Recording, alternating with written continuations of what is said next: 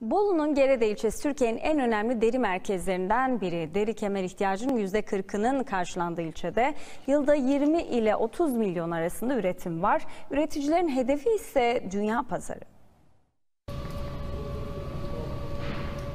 Kemerler, ayakkabılar, çantalar. Bolu'nun Gerede ilçesi dericilikte dünya merkezi haline gelmek istiyor. Gerede Türkiye'deki ve dünyadaki dericiliğin üst merkezlerinden bir tanesi. Yıllık 20 milyon adet ile 30 milyon adet arasında bir kemer üretimimiz var. Bu da ilçenin e, takdir edersiniz ki 35 bin nüfusu olan bir ilçenin 1500-2000 kişinin istihdam edildiği önemli sektörlerden bir tanesi. Türkiye'nin ilk deri organize sanayi bölgesine sahip Geride'deki 150 kemer atölyesi 20 milyonu aşkın erkek kemeri üretiyor. Deri kemer sektöründe e, şu anda yaklaşık e, Türkiye'nin %60 e, kapasitesi Gerede'den çıkıyor.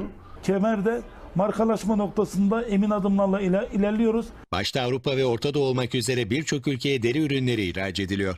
Geredeli üreticilerin hedefi ise deri kemer ihracatını ikiye katlamak. Ayrıca Türkiye'nin ayakkabılık deri ihtiyacının yaklaşık %40'ı Gerede'den karşılanıyor.